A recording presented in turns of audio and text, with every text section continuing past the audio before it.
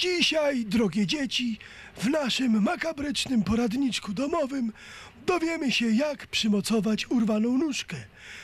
Idąc ulicą, bardzo często możemy spotkać pana lub panią, której urwała się nóżka, czy tam inna część ciała. Zwykle zabieramy takiemu panu pieniążki, co by mieć na lizaki, albo przesuwamy go na bok, żeby nie przeszkadzał innym dzieciom w bieganiu po parku. Jeśli jednak, drogie dzieci, chcecie się pochwalić kolegom lub koleżankom swoją pomysłowością, możecie takiemu panu nóżkę przymocować z powrotem na swoje miejsce. Tak samo jak to zrobi za chwilę ten pan z 8-kilogramowym Stało się coś młoteczkiem? Kowalskim.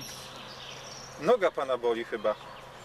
No widzi pan. Nie, nie mam, Nie ma pan. nie mam nogi. No to to dlatego będzie bolało, że pan nie ma. Ja, chyba. jakiś pies mi porwał nogę, Wie pan co? Ja myślę, że to nie pies porwał, ale po co pan na takiej ostrej ławce usiadł, ale panie? no, Tyle była, w parku, a pan na takiej ostrej musi siadać. była moja noga i pies ją porwał. No tak. Nie mam nogi. Wie pan co? Taką mam apteczkę tutaj, ale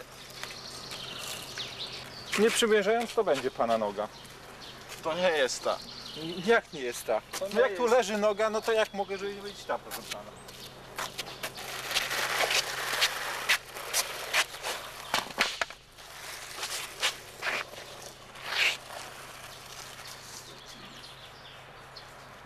Za długa, no gdzie? Czuje pan coś? Jakiś Nie, to nie ta. nie ta? A może to...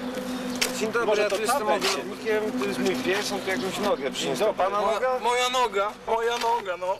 Tak? Moja noga. No jakoś nie... Aha!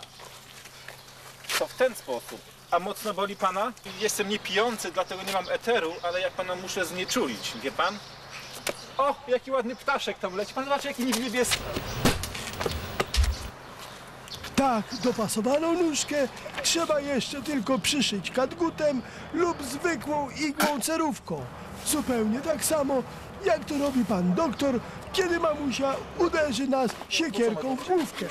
Potem wystarczy tylko przybić deseczki, żeby nóżka się nie obracała. Całość możemy jeszcze na wszelki wypadek okręcić drutem i gotowe. Pozostaje tylko pana dobudzić.